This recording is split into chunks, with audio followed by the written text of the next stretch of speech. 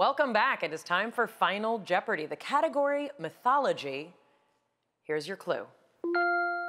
The Hippocrene Spring, sacred to the Muses, was so named because this offspring of Medusa brought it into being. You have 30 seconds.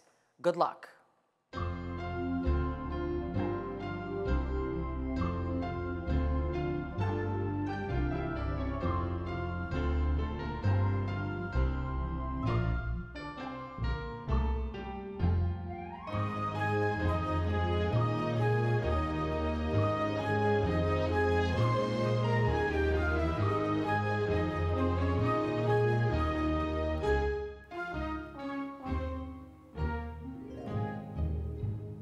Adriano Granados with 1800.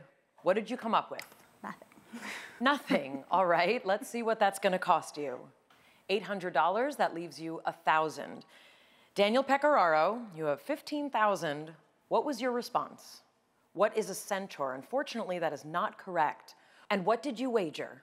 9,622, that takes you down to 5,378. We turn to Matt Amodio with 42,600. It was a very big game yesterday, and you said, What is Pegasus? That is correct. The winged horse who sprang from the blood of Medusa, kicked a hole in a rock, and hippo is of or related to horses.